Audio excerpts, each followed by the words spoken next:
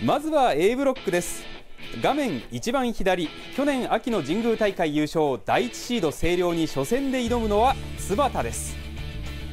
また画面右端9年ぶりの甲子園を狙う遊学館は七尾と対戦。能登半島地震でグラウンドが使えない中でも夏を目指してきた輪島は実力校の金沢龍谷と対戦です。自分が入学してから2年連続甲子園に出場させていただいてるんですけどでまた選抜のベスト4という悔しい結果をそれ以上の結果を残せるようにチーム全員で頑張っていきたいと思います。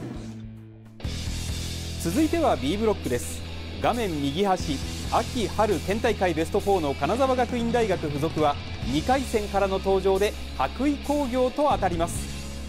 また画面一番左のシード校金沢市立工業は金沢泉ヶ丘と対戦。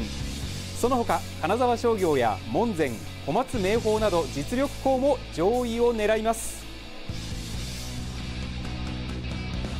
白衣工業さんは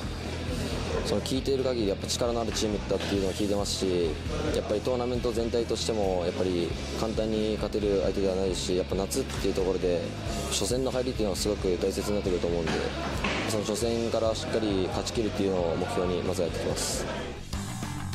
C ブロックです画面左端3年ぶりの甲子園を狙うシード校小松大谷は小松工業との小松勢同士の対決。右端もう一つのシード校金沢は小松と対戦。いずれも注目の好カードです。選手先生の高山キャプテン率いる七尾東雲もこのブロックに入りました。トーナメントを見ても、えー、簡単に勝てる相手ではないですし、えー、一戦一戦本当に難しい戦いになってくるとは思うので、まあ、一戦一戦、まあ、戦いなく、まあ、準備っていうのを大切に。そして D ブロック春の選抜出場校航空石川は画面右端。